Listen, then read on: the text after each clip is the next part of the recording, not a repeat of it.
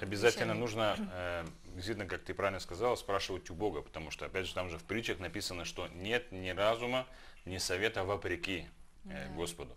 И опять же, вот к вопросу, один из вопросов, который здесь задавали, всегда ли нам дана да- свобода выбора? Ну, я думаю, что э, если мы прочитаем внимательно все Писание, то от начала, да, вот еще от Адама с Евой у нас От была дана свобода да. выбора. И во второзаконии Бог говорит, даю тебе благословение и проклятие, даю тебе жизнь и смерть, выбери жизнь. Да. Да. На протяжении всего Евангелия Иисус давал своим ученикам возможность выбирать. Э, Единственное, когда мы считаем, что Он не дал им возможность выбрать, это когда Он сказал, вы все отречетесь от Меня. Они, конечно, все сказали, такого быть не может, мы все с тобой, но они, да, отреклись, но выбор у них был, вернуться или нет. Они же ведь все пошли не по домам. Они продолжали ходить и искать Господа дальше и, э, и ожидать Его, потому что Он обещал, и они воспользуются этим выбором. Это первое, то, что я хотел сказать. По поводу э, лени, это второе, это то, что действительно должны выбирать, лениться нам или не лениться.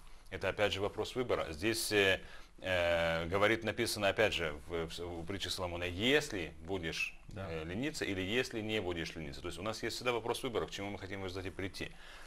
И третье, то, что я хотел сказать, вот мы сейчас как раз в перерыве об этом говорили, я думаю, что э, Андрей доп- доп- дополнит.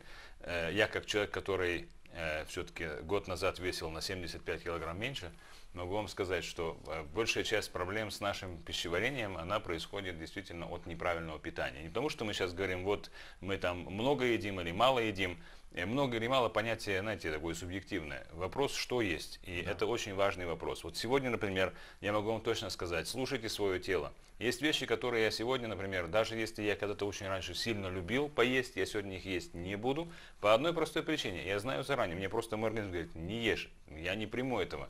И я этого не ем. И если я один раз ослушаюсь, я действительно там что-нибудь такое съем, я чувствую, как мне просто становится плохо. Потому что организм этого не принимает. Наш организм настолько совершенный механизм, и аппарат, компьютер, как хотите называйте, он настолько создан действительно по образу и подобию Бога, что он заранее знает, что нам хорошо и что плохо, и он заранее говорит, это я буду есть, а это я не буду есть.